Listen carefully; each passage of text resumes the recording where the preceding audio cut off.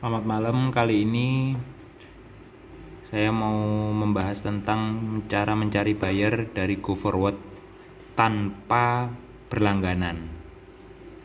Ini belum sign in ya, bisa kita lihat.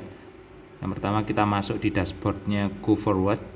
Setelah itu kita ketikkan apa yang akan bayar apa yang akan kita cari. Contohnya, nih kita ketikkan pineapple Oke, pineapple. Setelah itu kita klik find buyer. Nah, setelah ketemu muncul seperti ini, kita klik premium premium member.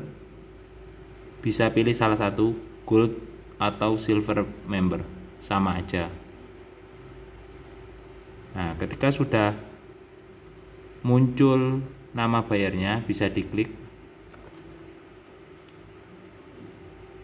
Nah, dan di sini kalian akan lihat kontak bayarnya. Kontak bayarnya di sini. Nah, ini ada detail kontak detail dan kontak personnya. Memang nggak nggak selengkap yang kita terima kalau kita berlangganan go forward yang gold.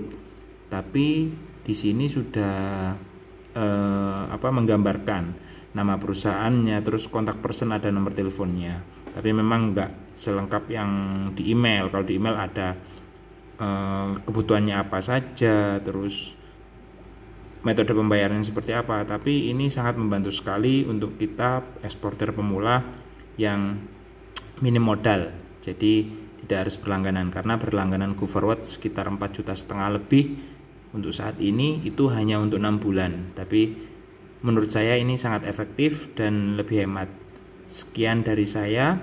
Mungkin jangan lupa like, comment, and subscribe ya untuk channel kami agar lebih bisa bermanfaat. Assalamualaikum warahmatullahi wabarakatuh.